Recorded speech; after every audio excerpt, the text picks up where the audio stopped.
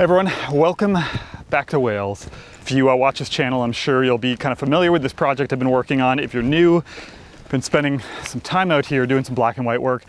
Currently large format, that was last week's video, but uh, funny enough, uh, the theme I wanted to tie into this week's video, what I want to talk about is just perfectionism and kind of the dangers of it as an artist and how easy it is to kind of fall into that trap uh, especially nowadays. And the funny thing is, it couldn't be more fitting.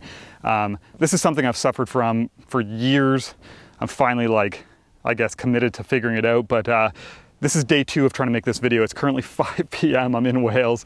Just got on location. Yesterday, I spent the entire day being a perfectionist, trying to find a location to go to. Today, I came out way too late, went to a first location, switched it up. So it's very fitting for this video. But what we're gonna do is I'm out at uh, these coal tips or, or, slag heaps they're called. If you watched one of my previous Wales videos, I talked a little bit about them.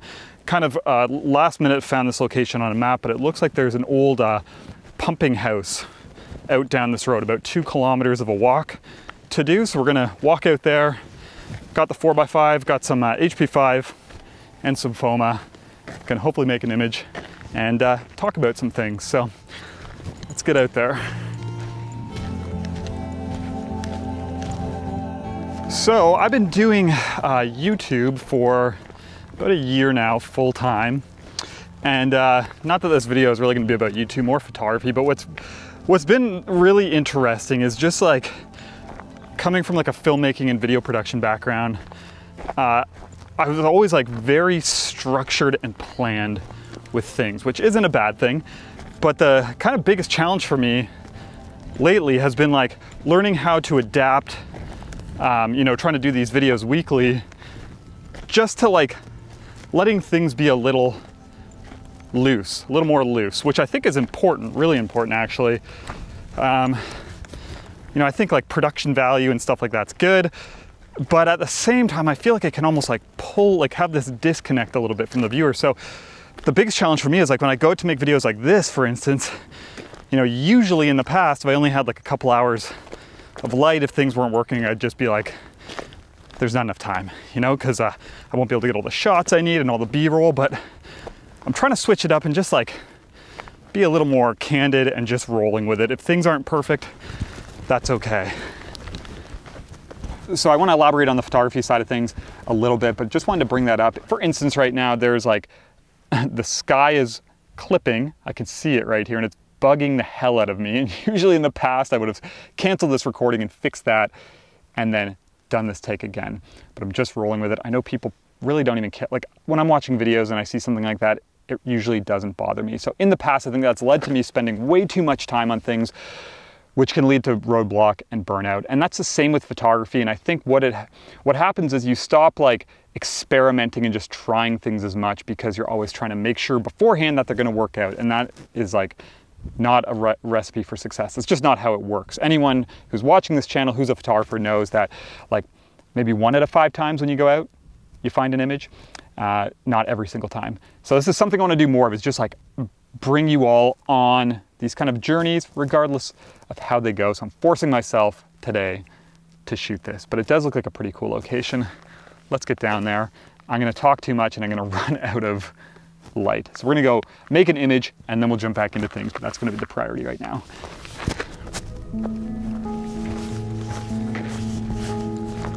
All right, so this is very cool. Didn't do much research on this place, obviously, because I was in a rush. I was originally looking at the uh, slag heaps that were way down there where I started, and then on the map saw these buildings. So I think this is an old pump house. Like I said, got to do more research, but I'm assuming there was obviously a mine, coal mine here at one point. And it's very cool to see these buildings still intact like this.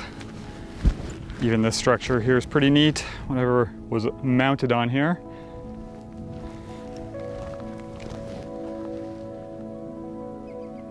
Cool, this is a spot to come back to for sure. I gotta say, the funny thing is, is like my instinct right now is capture B-roll, but obviously uh, lacking time. So I'm gonna put the camera down, look for an image to make and then set this back up once, once I got the 4x5 going and we'll see what we can make. So I think I found one image to start. Wanted to do something like a little further away, you know, a little like wider composition, but uh, I'm gonna start with this one. It's like a solid profile shot of this one building. So do this and then see if we can find a wide. So like I said, doing a profile shot of this building, gonna shoot it on the 180, I think. It's a pretty simple composition just with like a bunch of the foreground that's kind of running on an angle, but I think the light's gonna be pretty cool just with uh, the scenes kind of being backlit. Hopefully I catch a moment where there's a break in those clouds because it just like, even right now, the ambient light's kind of like edging that uh, front stairway and then also the, uh, the side of the building. So it, giving it some nice shape. And that's gonna be a start. But this location is very, very cool. Open, quiet, and just like endless potential. I'm seeing a lot of images here. So uh, I think this will probably be the next place I come back to. Come back out here in the afternoon with a little more time. See what I can find. Got the uh, Stenopeika with me again. If this is your first time watching my channel, the last video I did was uh, kind of like a first impressions of this camera, so you should definitely check it out. So I think the sun's gonna go below that hill shortly, but there's also a big cloud moving in, so um, I have a feeling I might not be able to shoot this in time to get that nice side light. I'm gonna try, I'm gonna shoot it regardless. Uh, there is an image I wanna make on the way out that uh, I can shoot at twilight, which is good, but fingers crossed I get a bit of a break here.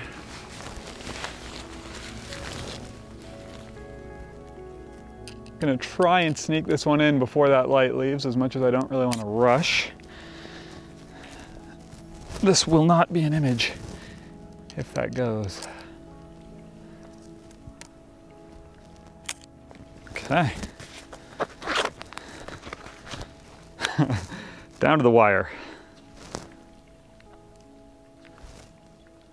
So spot metering for this one, going to actually the face of the building that's being lit is what I want to expose for. I want everything else to be quite dark other than the sky. So just spot metered actually like the center uh, window. It's a cinder block, so it's pretty close to middle gray and then metered the uh, bright sky, which I'm gonna probably push to three stops over middle gray and it seems to all align just fine. So I'm gonna go with uh, a 15th F22 uh, Ilford HP5 rating it at 320.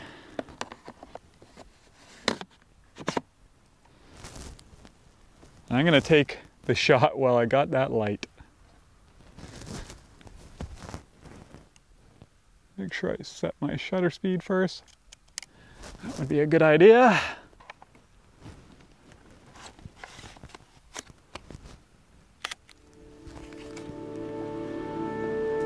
So overall, this image turned out okay. I'm not really that excited about it. I feel like the composition is a little bit too tight. I definitely want to show off more of the landscape. And I also feel like it's just a little bit lacking. It's not that exciting. But you know, at the very least, it's a hint at the potential that this place holds, and it's definitely given me some ideas to build off of for my return trip.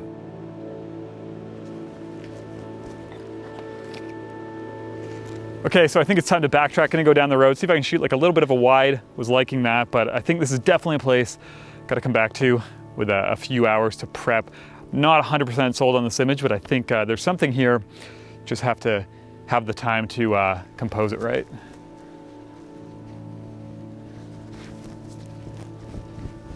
Definitely ran out of light quick this evening. Very, very quick. I hope I'm gonna be able to make something out of this video. At the very least, I hope there's a good message. I feel like the image making is uh, a little bit rushed. That's okay. I feel like if I came out to make a video talking about perfectionism and then bailed out because things weren't perfect, I'd be a little bit of a hypocrite. So rolling with it regardless. Hope you come back. Hope you come back to the channel and watch more of this excellent content. Okay, so it's getting super dark and I figured I'd just stop so I can finish these thoughts and have a video, a complete video.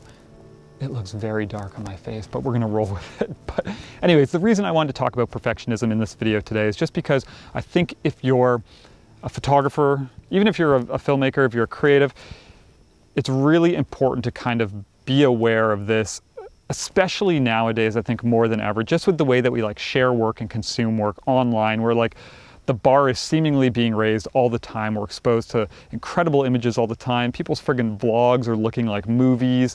Uh, and we also have access to like the best gear we've ever had for the most affordable prices and people are like picking apart little details about like this camera has a quarter stop better highlight roll off and I think it's just so easy to get sucked into this vacuum of perfectionism where it feels like everything you need to do everything you do needs to be like your next best work or you when you anytime you go out you have to create like award-winning stuff and it's just like it's puts this unnecessary pressure that can lead to this like creative block and it can just stall you. And like I said before, I think the problem with that is that you can miss out on a lot of opportunities where you discover these like little hints and these little kind of signs that point you in a direction that can have like a major impact on your work moving forward. And that just doesn't happen, obviously, if you don't go out and just be curious and explore and fail and have these times where you uh, try and make images and they don't work out. So it all matters. If you're a photographer, you know that like, like I said before, you know, one out of five times maybe when I go out, I create something that I'm very happy with, um, maybe one out of 10. So it's just important to keep this in mind. I think it's important to talk about this stuff too. So we aren't in this world where we're losing like a little bit of the like authenticity and rough edges and sloppiness that's so important uh, for everything that we do. So anyway, something that I'm constantly working on. This video is going to be a very good testament to that because right now in the back of my head, I'm just like, there's no way I'm posting this up. What did I even film tonight? But I'm to force myself to do it and I want to do more. Maybe not this rushed in the future, but I want to do these videos where it's just like, I focus a little less on like the perfect shots and more just on capturing the total experience. So anyways, just want to say thank you for the support. If you're new to the channel, I hope you enjoyed this. They don't always go like this. And if you did enjoy it, it'd be cool if you subscribed, liked it, all that good stuff. Thank you all for the support. I'll see you next week.